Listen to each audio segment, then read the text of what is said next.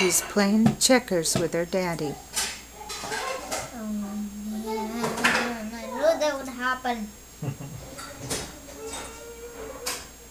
Just look at all your checkers and see which ones can make the best move.